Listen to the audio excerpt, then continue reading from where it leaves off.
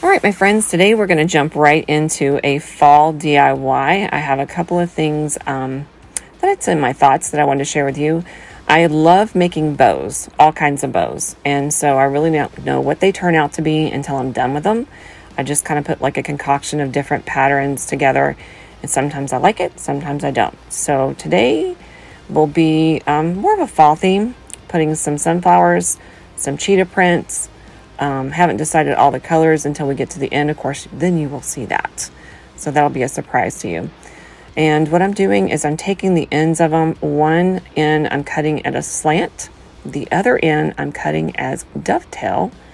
And one of my favorite things I love to do is always put buffalo checks somewhere if I can possibly. It's just one of those things I still love, not tired of, but you do you. So if you don't like the buffalo check, put another pattern in, okay?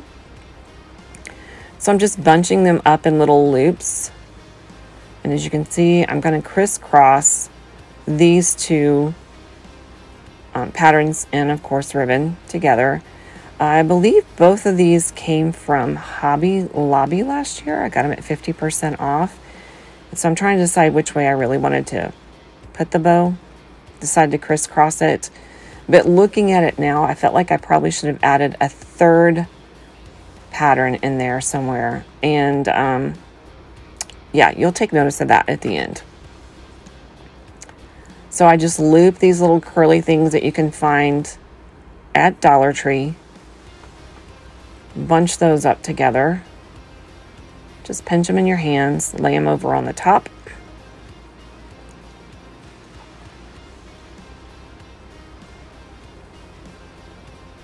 You can also probably wind up using raffia for this as well if you have it. If you can't find raffia, you know that Dollar Tree is also carrying those like grass hoop um, skirts that are really cute. So grab those grass skirts. Say that really fast, by the way. and um, cut those up, and you can probably use that for your raffia.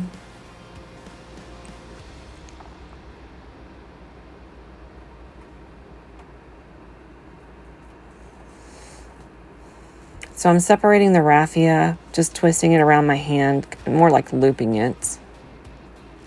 You see that I off, didn't get to see it. It's off camera for a moment, but it's very simple. You can also just bunch it up in your hand if you choose to.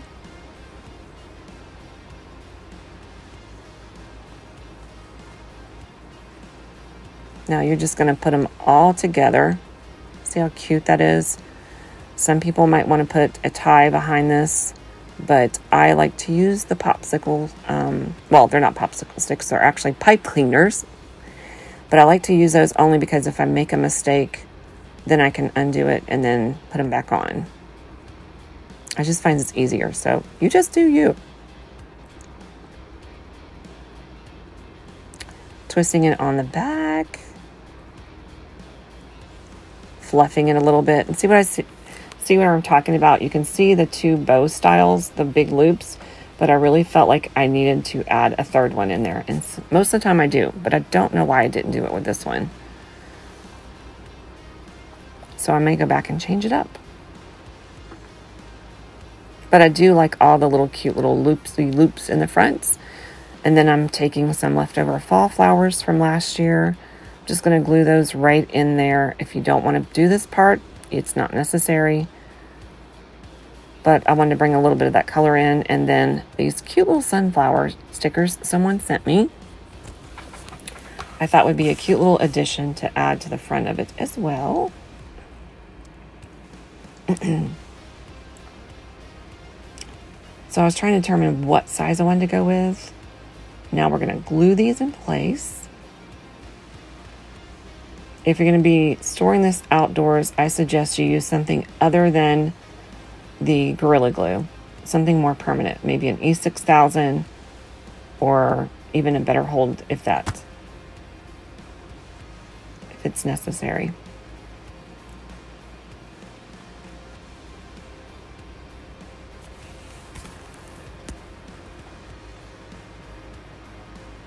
Putting that extra little glue behind there.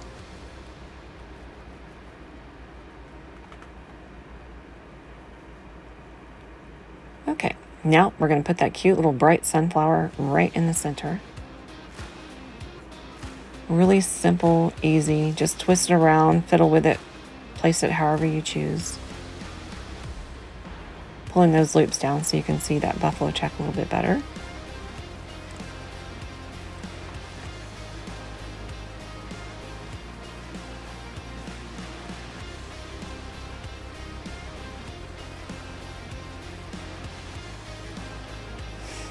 Now I'm just going to attach it to the top of my um, candle holder that I have there.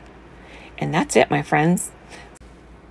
Hello, my friends. Today we are going to be doing um, a DIY. It's going to be, I guess, fall theme, but if you're into sunflowers and buffalo check, it could be year round depending on your taste. So I just got an antibacterial uh, wipe to kind of help remove some of the stickiness of, you know, you see the tab that's here. It makes it easier to remove. And then I'm just putting a little bit of Mod Podge into a cup. And I have this Buffalo Check um, napkin. I, I have several of them, honestly, in my stash because I do like Buffalo Check quite a bit. So I'm just taking the buff, um, taking the paste of the Mod Podge and I'm just placing it all around the candle and then cutting it to fit the size of the candle, which you can find these at Dollar Tree, by the way.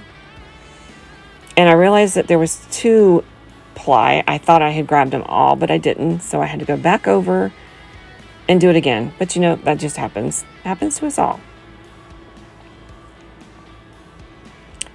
So again, I'm just placing another thin coat of the Mod Podge all over this glass of the candle. And you can find these at Dollar Tree, by the way.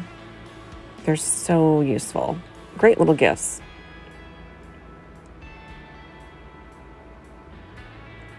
I was making a decision on where I wanted to place it. So I started to decide this, the opposite end of what I was going to do, was my best choice, and then wrap it around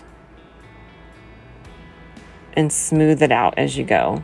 And then that way you can try to make sure that your edges um, are straight and match your pattern. You're just going to tap a little bit of extra glue there, especially where the two ends are going to meet, just to make sure you have that extra little bond. And then I'm going to top around the very top of it, um, just to curve that napkin over the lip just a little bit.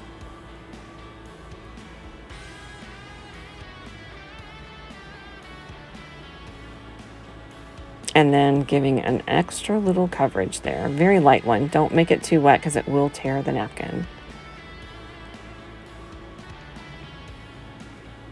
Okay, so I have this uh, sunflower napkin that was left over from last year. It's a really cute pattern. And so I'm going to just cut this out and kind of trim around the outer edges of the flowers.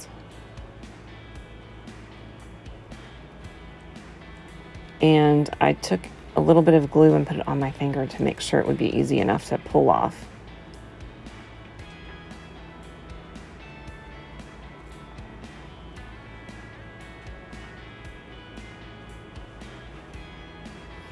Again, you're going to put another little thin coat of the Mod Podge on.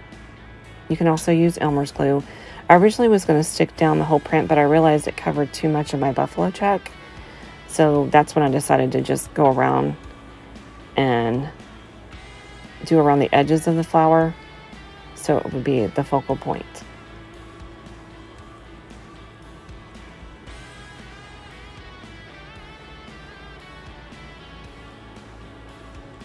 And that way too, you can use your leftovers and make something else with it.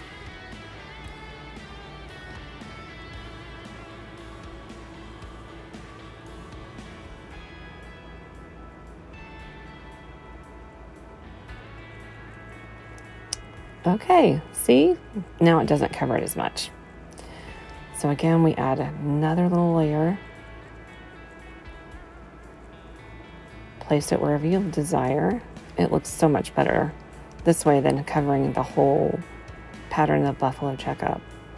And then you're just going to tap around the outer edges just to secure it in place.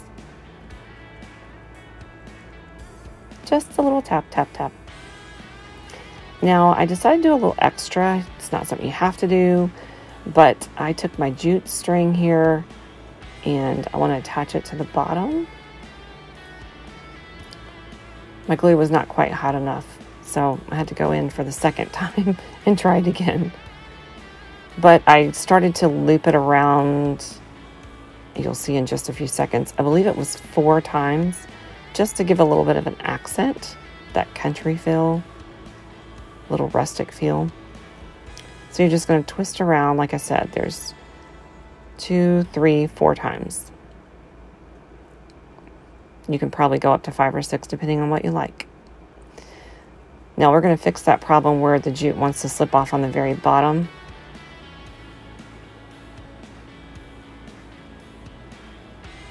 We're going to go around and add just a small bead of glue around the bottom edge of the jute so that way it doesn't slip off. Holds it in place. And we're going to do the same thing at the very top, except there's a small little lip in this can uh, candle that you will be able to just go right in that little indention of that lip. And it'll make it look very natural. Like it was supposed to have been there.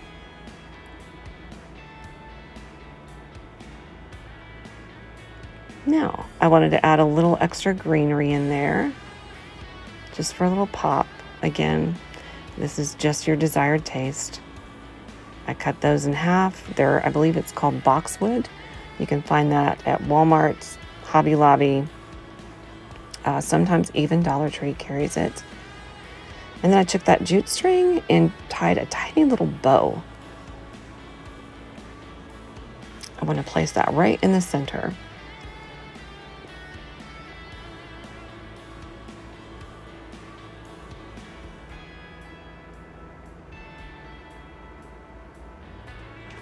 And there we have it, my folks. A very simple, easy DIY for Sunflowers Buffalo Check. So I hope that you really, really enjoy this. Go check out my blog.